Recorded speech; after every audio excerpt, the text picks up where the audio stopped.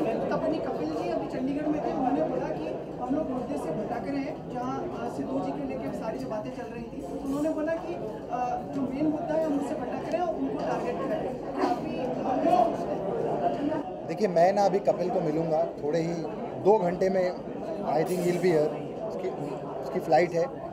तो I meet him I see I don't know what he has said what has happened Sidhu ji से क्या बात हुई है? क्योंकि सिद्धू जी से मेरी भी कोई बात नहीं हुई है। तो let me meet Kapil first then I am all open to comment और to say anything about this